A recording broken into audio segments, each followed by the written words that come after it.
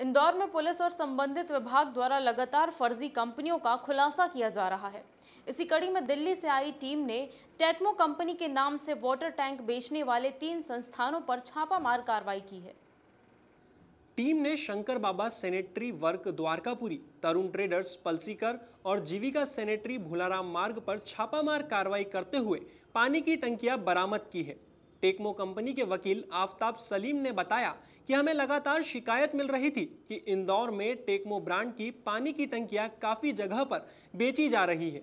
वहीं कंपनी का कहना है कि वह अभी किसी तरह के वाटर टैंक का निर्माण नहीं करते हैं, जिसके पर्याप्त सबूत जुटाकर कंपनी ने दिल्ली कोर्ट में केस दर्ज कराया है। जब लोगों ने इस चीज़ को बनाया तो हमने हमारे जो सेल पर्सन है और हमारे जो सूत्र है, उनके द्वारा पूरे मार्केट का सर्वे कराया।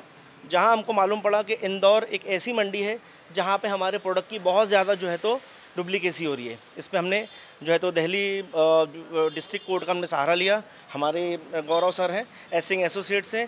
इनका हम लोग, इनके माध्यम से हम लोगों ने दिल्ली डिस्ट्रिक्ट कोर्ट से ऑर्डर्स लाए और आज दिनांक को, तेईस एक 2020 को हमने इंदौर में जब रेड की तो तीन जगहों पे हमको, हर अलग अलग जगह पे हमको Texmo pipes and product limited के जो है तो डुप्लीकेट वाटर टैंक प्राप्त हुए और जो सभी चीज़ हमने जो है तो पुलिस के माध्यम से एडवोकेट के माध्यम से लोकल कमिश्नर जो दिल्ली से हैं उनके माध्यम से सभी सीज़ कर दिए हैं और सीज़ करके हमने जो है तो कार्रवाई चालू है।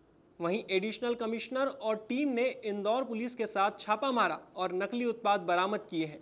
इनका उत्पादन कौन कर रहा है इसकी जाँच की जा रही है।